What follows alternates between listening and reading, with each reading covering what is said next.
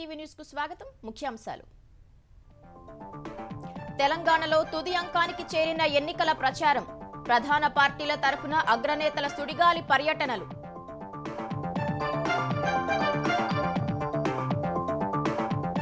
నేడు హైదరాబాద్లో ప్రధాని మోదీ రోడ్ షో.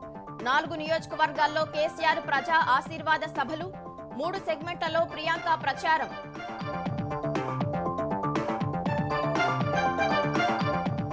ఆంధ్రప్రదేశ్లో ఖనిజ సంపద దోపిడీకి రంగం సిద్ధం. వైకాపా నేతలకు మేలు జరిగేలా రుసుముల మినహాయింపు సీఎంఓ ఒత్తిడితో అంగీకరించిన ఆర్థిక శాఖ. ఏపీ మంత్రుల్లో సగం మందికి ఈసారి టికెట్లు అనుమానమే. పదకొండు మందికే స్పష్టత ఇచ్చిన అధినేత స్థానచలనం కోరుతున్న ముగ్గురు అమాత్యులు.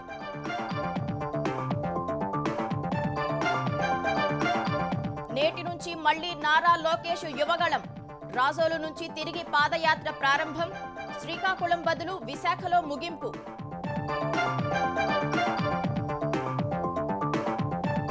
దేశంలో అతిపెద్ద పులుల సంరక్షణ కేంద్రంగా దమోహ్. రెండు వేల మూడు వందల కిలోమీటర్ల విస్తీర్ణంలో అభయారణ్యం విలీనానికి కేంద్రం ఆమోదం. గాజాలో నేటితో ముగియనున్న తాత్కాలిక కాల్పుల విరమణ. పొడిగింపుపై ఇంతవరకు వెలువడని ప్రకటన యుద్ధ లక్ష్యాన్ని చేరుకుంటామని నెతన్యాహు ధీమా.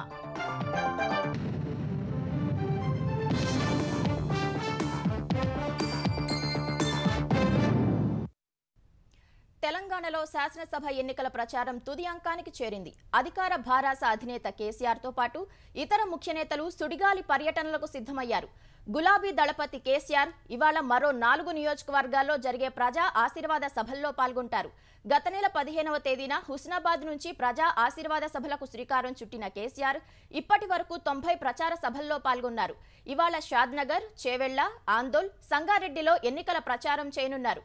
ప్రచారం చివరి రోజైన మంగళవారం వరంగల్ తూర్పు పశ్చిమ సెగ్మెంట్లకు సంబంధించి ఉమ్మడి సభతో పాటు గజ్వేల్ బహిరంగ సభలో పాల్గొంటారు. భారాస కార్యనిర్వాహక అధ్యక్షుడు మంత్రి కేటీఆర్ పెద్దపల్లి ధర్మపురి చెన్నూరు హుజురాబాద్ ఏటూరు నాగారంలో రోడ్ షోలు చేయనున్నారు. సాయంత్రం హైదరాబాద్లోని అంబర్పేట ముషిరాబాద్లో జరిగే ప్రజా ఆశీర్వాద సభల్లో కేటీఆర్ పాల్గొంటారు. మంత్రి హరీష్ రావు జహీరాబాద్లో ప్రచార సభల్లో పాల్గొంటారు. అటు కాంగ్రెస్ పార్టీ కూడా ప్రచారం ఉధృతం చేసింది. ఏఐసీసీ అధ్యక్షుడు మల్లికార్జున ఖర్గేతో పాటు అగ్రనేతలు రాహుల్ గాంధీ ప్రియాంక గాంధీ ఇతర జాతీయ నేతలు ప్రచారం చేస్తున్నారు. తెలంగాణ పీసీసీ అధ్యక్షుడు రేవంత్ రెడ్డి పోటీ చేస్తున్న కొడంగల్ గద్వాల భువనగిరి నియోజకవర్గాల్లో జరిగే బహిరంగ సభల్లో ఆ పార్టీ ప్రధాన కార్యదర్శి ప్రియాంక గాంధీ ప్రచారం చేయనున్నారు. పీసీసీ చీఫ్ రేవంత్ రెడ్డి ఇవాళ తాను పోటీ చేస్తున్న కొడంగల్తో పాటు ఇల్లందు డోర్నకల్లో ప్రచారం చేయనున్నారు. ఉదయం పది గంటలకు ఇల్లందు ఉదయం పదకొండు గంటలకు డోర్నకల్ మధ్యాహ్నం మూడున్నర గంటలకు ప్రియాంక గాంధీతో కలిసి కొడంగల్ బహిరంగ సభలో రేవంత్ రెడ్డి పాల్గొంటారని గాంధీ భవన్ వర్గాలు తెలిపాయి. రేపు ప్రచారానికి ఆఖరి రోజు కావడంతో హైదరాబాద్లో పార్టీ అధ్యక్షుడు మల్లికార్జున ఖర్గే రాహుల్ గాంధీ ప్రియాంక గాంధీలతో పాటు ఏఐసీసీ నుంచి వచ్చిన ఉన్నత స్థాయి నాయకులంతా ప్రచారంలో పాల్గొంటారని కాంగ్రెస్ వర్గాలు వెల్లడించాయి. ఇటు భారతీయ జనతా పార్టీ కూడా ప్రచారంలో జోరు పెంచింది. ప్రధానమంత్రి నరేంద్ర మోదీ ఇవాళ హైదరాబాద్లో రోడ్ షో నిర్వహించనున్నారు. ప్రధాని మూడు రోజుల తెలంగాణ పర్యటన ఇవాళ జరిగే రోడ్ షోతో ముగియనుంది. నిన్న రాత్రి తిరుమలకు వెళ్ళిన ప్రధాని మోదీ ఈ ఉదయం శ్రీవారి దర్శనం తర్వాత హకీంపేట విమానాశ్రయానికి చేరుకుంటారు. హెలికాప్టర్లో మెహబూబాబాద్కు వెళ్ళి అక్కడ ఏర్పాటు చేసిన భాజపా బహిరంగ సభలో పాల్గొంటారు. మధ్యాహ్నం ఒంటి గంటకు కరీంనగర్ ప్రచార సభకు హాజరు కానున్నారు. అక్కడి నుంచి తిరిగి హైదరాబాద్ చేరుకోనున్న ప్రధాని మోదీ ఆర్టీసీ క్రాస్ రోడ్స్ నుంచి కాచిగూడలోని వీర సావర్కర్ విగ్రహం వరకు రోడ్ షో చేయనున్నారు. సాయంత్రం ఐదు నుంచి ఆరు గంటల వరకు రెండు కిలోమీటర్ల పొడవున ప్రధాని మోదీ రోడ్ షో సాగనుంది. తెలంగాణలో ఈ నెల ముప్పైన జరిగే శాసనసభ ఎన్నికల కోసం కేంద్ర ఎన్నికల సంఘం విస్తృతమైన ఏర్పాట్లు చేస్తుంది. ఓటింగ్ కోసం ఇప్పటికే ఈవీఎంల కమిషనింగ్ పూర్తి కాగా హోమ్ ఓటింగ్ ప్రక్రియలో భాగంగా ఇరవై ఆరు వేల ఆరు వందల అరవై మంది ఇంటి వద్ద నుంచే ఓటు హక్కు వినియోగించుకున్నారు. ఎనభై ఏళ్ళకు పైబడిన వారు పదిహేను వేల ఎనిమిది వందల డెబ్బై తొమ్మిది మంది దివ్యాంగులు తొమ్మిది వేల మూడు వందల డెబ్బై నాలుగు మంది ఇంటి వద్ద నుంచే ఓటు వేయగా అత్యవసర సేవల్లో ఉన్న పద్నాలుగు వందల ఏడు మంది పోస్టల్ బ్యాలెట్ ద్వారా ఓటు హక్కు వినియోగించుకున్నారు. ఎన్నికల విధుల్లో ఉన్న ఉద్యోగులకు పోస్టల్ బ్యాలెట్ ప్రక్రియ కొనసాగుతోందని యాభై నాలుగు లక్షల ముప్పై తొమ్మిది వేల ఓటరు గుర్తింపు కార్డులను ముద్రించడంతో పాటు పంపిణీ కూడా దాదాపు పూర్తయినట్లు తెలంగాణ రాష్ట్ర ఎన్నికల ప్రధానాధికారి వికాస్ రాజ్ వెల్లడించారు. పేదలకు ఉచితంగా ఇసుక ఇవ్వడమే నేరమన్నట్లు చంద్రబాబుపై కేసు పెట్టించిన అధికారి ఇప్పుడు ఆయనే వైకాపా నేతల దోపిడీకి రాజమార్గం వేశారు. వైకాపా నాయకులు ఖనిజ సంపద దోచుకునేందుకు వీలుగా కొన్ని రుసుముల నుంచి మినహాయింపు ఇస్తూ ప్రతిపాదనలు సిద్ధం చేశారు. అందుకు పేదల అవసరాలు అనే ముసుగు తొడిగారు అయితే ఈ ప్రతిపాదనతో పేదలకు లబ్ధి కలుగుతుందని నిర్ధారించలేమని తేల్చి చెప్పిన ఆర్థిక శాఖ దీనివల్ల ప్రభుత్వ ఖజానాకు నష్టమని నోట్ ఫైల్స్లో స్పష్టంగా పేర్కొంది. అయినప్పటికీ ప్రభుత్వ పెద్దలు ఆర్థిక శాఖపై ఒత్తిడి చేసి రుసుములకు మినహాయింపు ఇచ్చేలా ఒప్పించారు. ఐదు వందల చదరపడుగుల విస్తీర్ణం లోపున్న ఇళ్ళ నిర్మాణాలకు వాడుకునే కంకర గ్రావెల్ వ్యవసాయ వినియోగం కోసం సాధారణ భూమిలో చేపట్టే మట్టి తవ్వకాలకు సీనరేజీ రుసుములు consideration amount DMF and merit తదితరాల నుంచి మినహాయింపు ఇవ్వాలంటూ గనుల శాఖ డైరెక్టర్ వెంకటరెడ్డి ఈ ఏడాది ఏప్రిల్ పదిహేడున ప్రభుత్వానికి ప్రతిపాదనలు పంపారు. సున్నపురాతి పలకలకు కన్సిడరేషన్ అమౌంట్ నుంచి మినహాయింపు కోరారు. ఇందువల్ల ఖజానాకు ఎంత నష్టం వాటిల్లుతుందో అంచనా వేసేందుకు డేటా తన వద్ద లేదన్నారు. చిన్న తరహా ఖనిజాల సంబంధిత రుసుముల వసూళ్ళ బాధ్యతను ఉమ్మడి జిల్లాల వారీగా వివిధ ప్రైవేటు సంస్థలకు అప్పగించేశామని ఆ సంస్థలు అందరి నుంచి రుసుములు వసూలు చేస్తున్నాయని చెప్పారు. గ్రామీణ సెమీ అర్బన్ ప్రాంతాల్లో స్థానికులు దీన్ని వ్యతిరేకిస్తున్నారన్న వెంకటరెడ్డి ఈ నేపథ్యంలో వాటికి రుసుముల నుంచి మినహాయింపు ఇవ్వాలని ప్రతిపాదనల్లో పేర్కొన్నారు.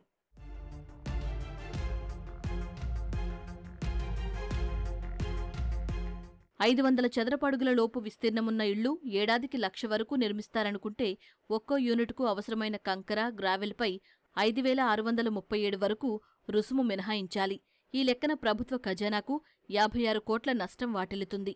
వ్యవసాయ వినియోగం కోసం సాధారణ భూమిలో చేపట్టే తవ్వకాలకు రెండు వేల ఇరవై ఒకటి ఇరవై రెండులో ముప్పై ఒక్క వేల ఐదు వందల ఘనపు మీటర్ల తవ్వకాలకు తాత్కాలిక అనుమతులివ్వగా తొమ్మిది పాయింట్ ఆరు కోట్లు రెండు వేల ఇరవై రెండు ఇరవై మూడులో నలభై మూడు వేల ఐదు వందల ఘనపు మీటర్ల తవ్వకాలకు అనుమతించగా పదమూడు పాయింట్ ఆరు కోట్ల మేర రుసుములు వసూలయ్యాయి.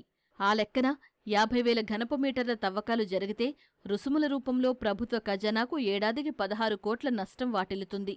సున్నపురాతి పలకలపై కన్సిడరేషన్ రుసుము మినహాయింపు వల్ల ఏడాదికి పది కోట్ల మేర నష్టం వాటిల్లుతుందంటూ వాటికి మినహాయింపునివ్వాలని ప్రభుత్వానికి మళ్ళీ ప్రతిపాదనలు పంపించారు. వీటిని ఆర్థిక శాఖ సమ్మతి కోసం గనుల శాఖ పంపించింది. చట్టబద్ధ రుసుముల చెల్లింపు నుంచి మినహాయింపు పొందిన చిన్న తరహా ఖనిజాల అంతిమ వినియోగాన్ని పర్యవేక్షించడం దాదాపు అసాధ్యమని ఈ చర్య వల్ల ప్రభుత్వ ఆదాయ లీకేజీలను ప్రోత్సహించినట్లవుతుందని ఆర్థిక శాఖ స్పష్టం చేసింది. రుసుముల మినహాయింపు వల్ల ప్రభుత్వానికి ఆదాయం రాదని ప్రభుత్వ ఖజానాకు రెండు విధాలా నష్టమని తేల్చింది. ఇది ఎంతమాత్రం ఆచరణీయం కాదని నోట్ ఫైల్లో తేల్చి చెప్పింది. అమలులో పరిపాలనాపరమైన ఇబ్బందులు ఉన్నాయంటూ రెండు వేల ఇరవై మూడు మే ఇరవై తొమ్మిదిన తిరస్కరించింది. ఈ అంశంపై సీఎంఓతో చర్చించామని పునః పరిగణలోకి తీసుకోవాలంటూ అక్టోబర్ నాలుగున వెంకట్రెడ్డి మరోమారు ప్రతిపాదనలు పంపించారు. సున్నప్రాతి పలకలకు కన్సిడరేషన్ అమౌంట్ నుంచి మినహాయింపు అంశాన్ని తాజా ప్రతిపాదనల్లో తొలగించారు. అయితే అంతిమ లబ్ధి ఆధారిత మినహాయింపులు చాలా కష్టమైనవని వాటిని కనుక్కోవటం నిరోధించటం అసాధ్యమని ఆర్థిక శాఖ తెలిపింది. రుసుముల ఎగవేతకు ఇదో సులువైన మార్గమని ఎక్కువ సందర్భాల్లో ఈ మినహాయింపులు దుర్వినియోగమవుతాయని అందుకు ఉదంతాలున్నాయని స్పష్టం చేసింది. అందుకే ఈ ప్రతిపాదనను వ్యతిరేకిస్తున్నామని ఆర్థిక శాఖ ఆ ప్రతిపాదనలపై కరాఖండీగా తేల్చి చెప్పింది. సీఎంఓ నిర్ణయం మేరకు ఈ ప్రతిపాదనను పునః పరిగణలోకి తీసుకుంటూ అధికారులు దస్త్రాన్ని సర్క్యులేట్ చేశారు. సీఎస్ గనుల శాఖ మంత్రి పెద్దిరెడ్డి రామచంద్రారెడ్డి ద్వారా ముఖ్యమంత్రికి ఈ ఫైల్ వెళ్ళింది స్థానిక నివాసితుల అవసరాల దృష్ట్యా ఈ మినహాయింపుల ప్రతిపాదనను ఆమోదిస్తూ అక్టోబర్ ఇరవై ఒకటిన సిఎస్ జవహర్ రెడ్డి ఉత్తర్వులిచ్చారు. దేశంలోనే అతిపెద్ద పులుల సంరక్షణ కేంద్రంగా మధ్యప్రదేశ్లోని దమోహ్ అభయారణ్యం రికార్డులకెక్కనుంది. ఈ మేరకు అటవీశాఖ అధికారులు తెలిపారు. నౌరదేహి రాణి దుర్గావతి వన్యప్రాణి అభయారణ్యాలను విలీనం చేయాలన్న ప్రతిపాదనకు కేంద్రం ఆమోదముద్ర వేసినట్లు చెప్పారు. ఈ విలీనం ద్వారా పులుల సంరక్షణ కేంద్రం రెండు వేల మూడు వందల చదరపు కిలోమీటర్లకు విస్తరించనుంది. ఈ నిర్ణయం పులుల జనాభాను కాపాడేందుకు దోహదం చేయనుందని భావిస్తున్నారు. ఈ విలీనం పులుల సంఖ్య పెరగటానికి ఈ ప్రాంత అభివృద్ధికి పర్యాటకానికి ఊతమిస్తుందని అధికారులు అంటున్నారు. వచ్చే రెండు మూడు నెలల్లో పులుల సంరక్షణ కేంద్రం ఏర్పాటు చేసేందుకు అటవీశాఖ సన్నాహాలు మొదలుపెట్టింది. ఆంధ్రప్రదేశ్కు చెందిన కొందరు మంత్రులు వచ్చే ఎన్నికల్లో పోటీ చేసే స్థానాలపై సందిగ్ధం నెలకొంది. ఇరవై ఐదు మంది అమాత్యుల్లో పదకొండు మందికి మాత్రమే వారు పోటీ చేసే స్థానాలపై అధినేత స్పష్టత ఇచ్చినట్లు తెలుస్తోంది. మిగిలిన వారికి అవకాశం లభించటం అనుమానమేనన్న ప్రచారం సాగుతోంది. అయితే ముగ్గురు మంత్రులు మాత్రం వేరే చోట పోటీ చేసేందుకు అవకాశం ఇవ్వాలని కోరుతున్నట్లు సమాచారం. ఈసారి కొందరు మంత్రులను లోక్సభ బరిలో దించాలని వైకాపా ఆలోచన చేస్తున్నట్లు తెలుస్తోంది. గత ఎన్నికల్లో గెలిచి ప్రస్తుతం మంత్రులుగా పనిచేస్తున్న వారిలో చాలా మందికి వచ్చే ఎన్నికల్లో పోటీ చేసే స్థానాలపై స్పష్టత రావట్లేదు. స్థానాలు టికెట్లపై పార్టీ ఆలోచనలు ఒకలా నేతల అభిప్రాయాలు మరోలా ఉండటమే దీనికి కారణంగా కనిపిస్తోంది. ప్రస్తుతమున్న ఇరవై ఐదు మంది మంత్రుల్లో సగం మందికి మళ్ళీ టికెట్ దక్కుతుందో లేదో తెలియని పరిస్థితి ఉంది. పదకొండు మందికి మాత్రం ఈసారి టికెట్ల కేటాయింపుపై వైకాపా అధిష్టానం సుముఖంగా ఉన్నట్లు తెలుస్తోంది. మిగిలిన వారిలో కొందరిని ఈసారి లోక్సభ బరిలోకి దించాలని పార్టీ పరిశీలిస్తూ ఉండగా మరికొందరికి స్థానికంగా వ్యతిరేకత వల్ల టికెట్ల సంగతి తేలట్లేదు. ప్రస్తుత మంత్రుల్లో గుమ్మనూరు జయరాం ఉష శ్రీచరణ్ విడదల రజని ధర్మాన ప్రసాదరావు గుడివాడ అమర్నాథ్ జోగి రమేష్ తదితరులను ఈసారి లోక్సభకు పోటీ చేయించాలని వైకాపా నాయకత్వం ఆలోచిస్తోంది. ఈసారి కర్నూలు ఎంపీ అభ్యర్థిగా బరిలోకి దిగాలని జైరాంకు సీఎం జగన్ చెప్పగా ఆలూరు టికెట్ తన కుమారుడికి ఇవ్వాలని జయరాం కోరినట్లు సమాచారం. అయితే దానిపై ఇంకా స్పష్టత ఇవ్వలేదని ప్రచారం సాగుతోంది. ఉషశ్రీ చరణ్ను ఈసారి ఆమె సామాజిక వర్గం ఓట్లు అధికంగా ఉన్న రాప్తాడు అసెంబ్లీ లేదా హిందూపురం లోక్సభ స్థానం నుంచి పోటీ చేయించేందుకు వైకాపా కసరత్తు చేస్తోంది.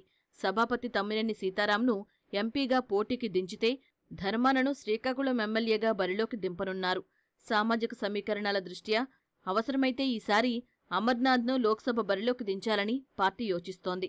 ప్రస్తుతం అనకాపల్లిలో వ్యతిరేకత ఉన్నా అక్కడ్నుంచే పోటీకి ఆయన సిద్ధమయ్యారు. మరో మంత్రి జోగి రమేష్ను విజయవాడ లేదా ఏలూరు లోక్సభ స్థానం నుంచి పోటీ చేయించడంపై పార్టీ సర్వేలు చేస్తోంది. ఆయన ఈసారి మైలవరంలో పోటీకి రంగం సిద్ధం చేసుకుంటున్నారు. అయితే పార్టీ మాత్రం రమేష్ను అయితే ఎంపీగా లేదా ప్రస్తుతం ప్రాతినిధ్యం వహిస్తున్న పెడనలోనే పోటీకి దించాలని చూస్తోంది.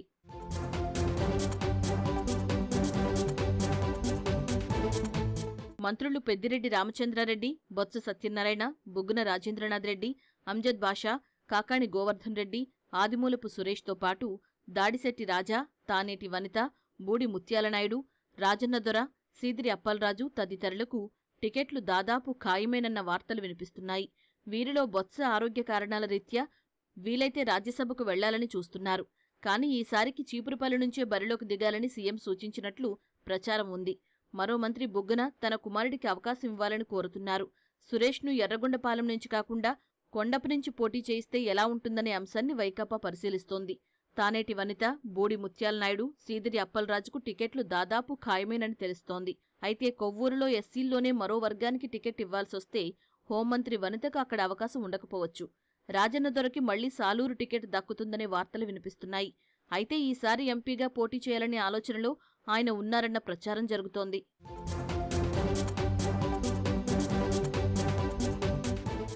నగరిలో మంత్రి రోజాకు పార్టీలోనే వ్యతిరేకత ఉంది.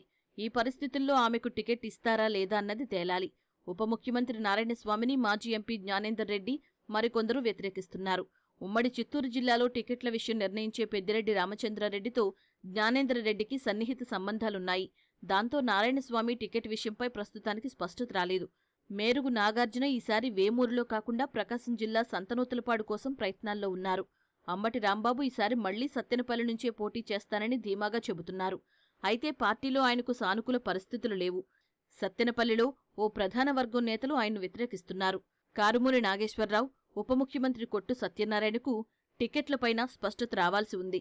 తెలుగుదేశం జనసేన పొత్తు వీరి స్థానాలపై ప్రభావం చూపనుంది. చెల్లిపోయిన వేణుగోపాలకృష్ణను రామచంద్రపురంలో వైకాపా ముఖ్య నేతలు ఎంపీ పిల్లి సుభాష్ చంద్రబోస్ ఎమ్మెల్సీ తోట త్రిమూర్తులు వ్యతిరేకిస్తున్నారు. ఈసారి రామచంద్రపురంలో తన కుమారుడికి టికెట్ ఇవ్వాలని బోస్ గట్టిగానే పట్టుబట్టగా పంచాయతీ సీఎం వరకు వెళ్ళడంతో సందిగ్ధత కొనసాగుతోంది. ఆంధ్రప్రదేశ్లో వచ్చే నెల తొమ్మిది నుంచి కులగణన చేపట్టనున్నట్లు బీసీ సంక్షేమ శాఖ మంత్రి వేణుగోపాలకృష్ణ తెలిపారు. ఆ తర్వాత సామాజిక వర్గాల వారీగా అభివృద్ధి కార్యక్రమాలు చేపట్టడంతో పాటు రాజకీయ అవకాశాలు కల్పిస్తామని హామీ ఇచ్చారు. ఆచార్య నాగార్జున విశ్వవిద్యాలయం సమీపంలో రజకులు నిర్వహించిన సభలో మంత్రి వేణుగోపాలకృష్ణ పాల్గొన్నారు. ఇవాళ ఆంధ్రప్రదేశ్ రాష్ట్రంలో తొమ్మిదవ తారీఖు నుండి ఇప్పుడే అన్నాడు సోదరుడు. మనం స్కాటర్డ్గా ఉంటాం. ఎక్కడున్నాం ఎంత ఉన్నాం అనేటువంటిది కాదు. గెలుపనే దానికంటే గెలుపనే దానికంటే నీ జీవన స్థితి మార్చడమే లక్ష్యమని ఈ పాలకుడి యొక్క కోరిక. అది తీరబోతా ఉంది. కులగణన జరిగిన తర్వాత మనం ఎక్కడున్నాం ఎంత ఉన్నాం ఏమున్నాం అనేటువంటి తేలుద్ది తెలుగుదేశం పార్టీ జాతీయ ప్రధాన కార్యదర్శి నారా లోకేష్ యువగళం పాదయాత్ర ఇవాటి నుంచి తిరిగి ప్రారంభం కానుంది. ఉమ్మడి తూర్పుగోదావరి జిల్లాలో ఎనిమిది అసెంబ్లీ నియోజకవర్గాల్లో సాగనున్న యువగళం పాదయాత్ర తుని మీదుగా ఉమ్మడి విశాఖ జిల్లాకు చేరనుంది. రాజోలు అమలాపురం ముమ్మిడివరం కాకినాడ పట్టణ గ్రామీణం పిఠాపురం తుని నియోజకవర్గాల మీదుగా అనకాపల్లి జిల్లాలో ప్రవేశిస్తుంది. అనకాపల్లి విశాఖ జిల్లాల్లోని కొన్ని నియోజకవర్గాల గుండా పాదయాత్ర విశాఖ చేరుకొని అక్కడే ముగియనుంది. తెలుగుదేశం అధినేత చంద్రబాబు అరెస్టు నేపథ్యంలో లోకేష్ తన యువగళం పాదయాత్రను వాయిదా వేయాల్సి వచ్చింది. వైకాపా హయాంలో వక్ఫ్ భూములకు రక్షణ కరవైందని శాసనమండలి మాజీ చైర్మన్ షరీఫ్ ఆందోళన వ్యక్తం చేశారు. కర్నూలు ముప్పై ఐదవ వార్డు పరిధిలోని వక్ఫ్ బోర్డుకు చెందిన పదెకరాల అరవై నాలుగు సెంట్ల స్థలాన్ని వైకాపా నేతలు ఆక్రమించేందుకు ప్రయత్నిస్తున్నారని ఆరోపించారు. వక్ఫ్ భూముల రక్షణకు చర్యలు తీసుకోవాలని జిల్లా కలెక్టర్కు షరీఫ్ విజ్ఞప్తి చేశారు. ఈ స్థలం ఒక బోర్డుకి సంబంధించింది. ఆ బోర్డు కనపడకుండా దాన్ని వంచేసి సర్వే నెంబర్లు మార్చి రిజిస్ట్రేషన్ చేసుకుని మరి వాటాలుగా పంచుకొని వైఎస్ఆర్సీపీ నాయకులు అమ్మే ప్రయత్నం చేస్తుంటారంటే ప్రభుత్వం హయాంలో ఒక ఈనాడు రియల్ ఎస్టేట్ చేసుకుని డబ్బులు గడించడానికి భూముల్ని కాజేస్తున్నారో వైఎస్ఆర్సీపీ నాయకులు.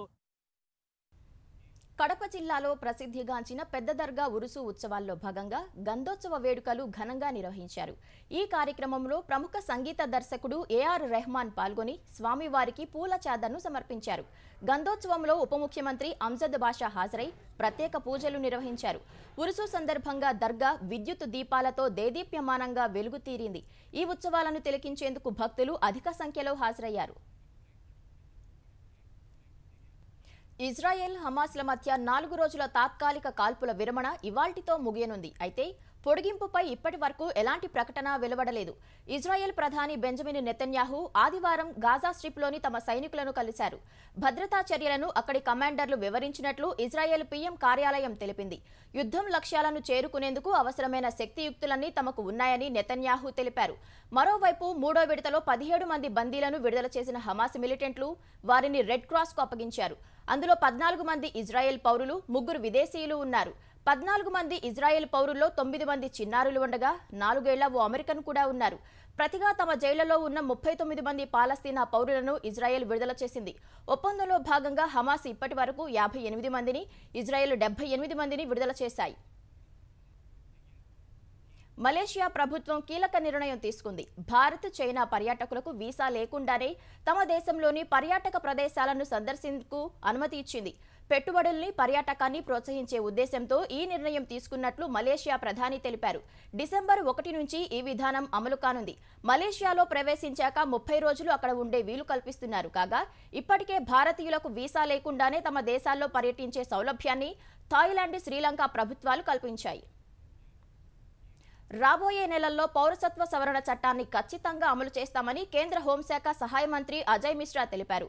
వచ్చే ఏడాది మార్చి ముప్పై నాటికి నిబంధనలను రూపొందించాలని రాజ్యసభ లెజిస్లేటివ్ కమిటీ గడువు విధించినట్లు చెప్పారు.